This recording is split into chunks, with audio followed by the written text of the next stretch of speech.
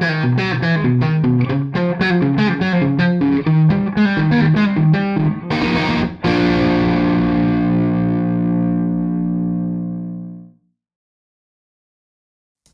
guys, I'm Leo Reinhardt, the Guitar Maniac. If you've been following my channel for a while, you probably know that the most viewed videos on my channel are the ones where I review the power supplies for pedal boards, all of them from Harley Benton. And of course, I get a lot of requests, uh, what do I think about Fame power supplies? Well, you asked it, and so I finally ordered all of the Fame power supplies. So let's take a closer look at them. But first of all, I want to talk a little bit about background story. What is the Fame brand? About 10 years ago, when it came to purchasing music instruments or equipment, Music Store was my first choice. I guess back then it was the biggest either in Germany or even in Europe, and they are located in the downtown of Cologne, about 100 meters away from its famous uh, cathedral. So you can't find a better location for this kind of business. A huge music shop in a huge city. And when I say huge, I really mean it huge. You know, like an average musician feels like a kid in a candy store when it comes to a music shop. But in a music store, you felt like you are a kid in a chocolate factory. And they offered a nice online service as well. For example, they offer 3 years of warranty. They offer 30 days of money back guarantee if you don't like the item. And they offer free shipping if you purchase uh, at least on 25 euro.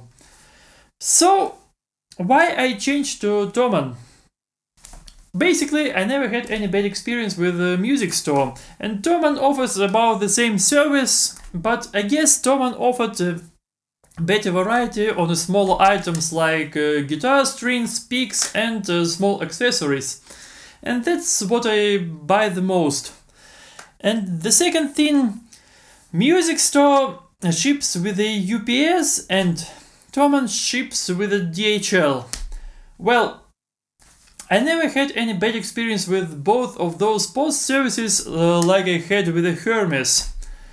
But there were a couple of things uh, that I said I'll uh, ship at Thomann. When I'm not at home, I have to pick my package in the nearest uh, post office. But the only problem was about 10 years ago that the only post office of the UPS was uh, somewhere outside of my town. So I had to spend about two hours uh, to carry this huge uh, package from the post office of the UPS and uh, the DHL has a, little bit of more post offices in uh, around the town. So basically this is uh, the only reason why I switched to Thomann. And nowadays uh, it's a little bit better because UPS works with uh, local bakeries, newspaper shops, so you can actually find a lot of uh, smaller post offices. So you can actually buy in music store or in Thomann. So there is no such a big difference. Both of those uh, retailers are excellent. And of course, both music store and Thomann have their own brands. In case with Thomann, it's either Harley Benton or T-Bone, and in case with Music Store, it's either Jack and Denny or Fame. But there are a couple of differences in approach of uh, the brands. For example, Harley Benton and T-Bone is mostly oriented on beginner musicians or musicians with a low budget. Well, but you get pretty decent quality for the price. Of course, you can't expect a guitar for 200 euro be as good as guitar for 3000 euro, but you can't complain for the price. And some of the Harley Benton stuff uh, can be used by professional musicians as well. For example, the Stomp boxes, uh, guitar or bass cabinets, and in my case it was Harley Benton Power Plant ISO 2 Pro, the power supply. Well, as for the music store brands, Jack and Denny is sort of Harley Benton of the music store. It's uh, mostly oriented on the beginner musicians. As for the fame, well, they make uh, high-end stuff like uh, guitars or basses.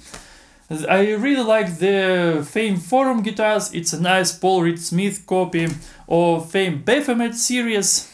Unfortunately, they stopped selling those, uh, but guys, seriously, bring back Baphomet basses back. Those were really great. And uh, they have uh, low budget uh, stuff as well, mostly stomp boxes or microphones, or in this case, uh, the power supplies as well. But let's be honest, there are no such brands as Harley Benton, T-Bone, uh, Jack and Denny or Fame. All this stuff is made by third-party companies and sold under retailer's brand. For example, some of the Harley Benton stomp boxes are nothing but a Joyo stomp boxes. And uh, uh, famous uh, Fame Bulldozer Tube amp is made by Russian brand Yerasov.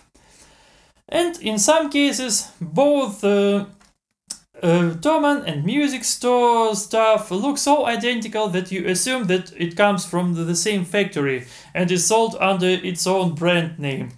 And that's what happened to me when I first ordered the Harley Benton power plant, uh, the original blue one. I knew that Music Store has its uh, DST 200 power supply, and I naturally assumed that those are pretty much identical, but apparently this is not the case. So let's take a closer look at it. The Fame DTC 200 can work with both 230 and 115 volts, so basically you can use it worldwide. It has two 12 volt outputs, one is AC and another one is DC. As for the rest 8 outputs, well, each of these outputs is switchable. You can choose between 9 and 12 volt DCs uh, on the outputs 1 uh, to 6 and uh, the switches are on the bottom of the device. As for the outputs 7 and 8, well, they have two adjustable knobs. And basically, with the switches on the bottom, you can choose between 9 volt and uh, you can switch these knobs on so you can set uh, anything between 4 and 9 volt. Well, this uh, doesn't make any sense unless uh, some of the guitar players find uh, the sound of the stomp boxes better when the battery is running out of power and this kind of allows to emulate uh, this sort of uh, running out of power battery. The main problem that I've got with the Harley Benton power plant is that it was nothing but a daisy chain in a box. So let's test the Fame DTC 200 if it's uh, the same case or if it's uh, built properly. First of all, let's test it with a multimeter. And as you can see, all the central pins uh, that are negative are not connected to each other. And that's a good sign. So let's take it apart and look how it's built. And as you can see, this power supply is built pretty similar to a Harley Benton Power Plant Junior. This transformer has multiple secondary windings and each of them has its own rectifier and positive voltage regulator. And that's why all the outputs are isolated from each other. So let's put it together and uh, put it to some test. For the noise test I use as always the Torpedo CAB from Two notes because it can't stand daisy chains. And the AMT R1 because it can work with both 9 and 12 volt DC.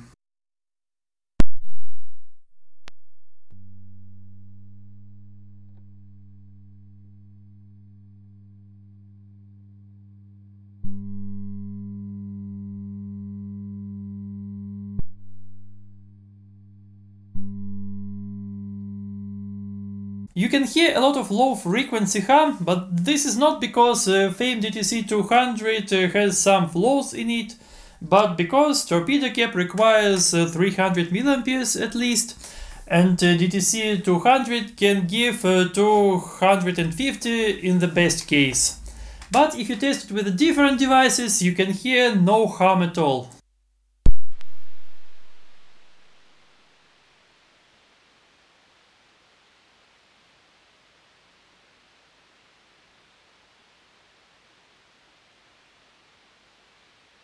And in conclusion, this is how original Harley Benton power plant should be built, because the Harley Benton power plant Junior is built uh, the same way as this device and not as the original power plant. Well, can I recommend it? Well, there are good and bad sides about it. A good side is that it's only 40 euro, the same price as the Harley Benton power plant, but it's isolated. That's another good thing about it. It can work with both 115 and 230 volts, so you can use it worldwide, and this is a plus side as well.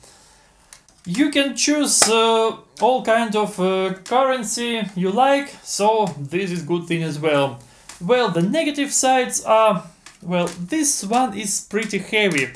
So, if your pedal board is not uh, quite uh, the lightest, uh, so you can use uh, this device. And uh, another thing, it can't power my uh, Torpedo CAB, so I couldn't use it anyway. But if you don't have these Power Hungry Stomp boxes, you can definitely buy this one. So that's all for today.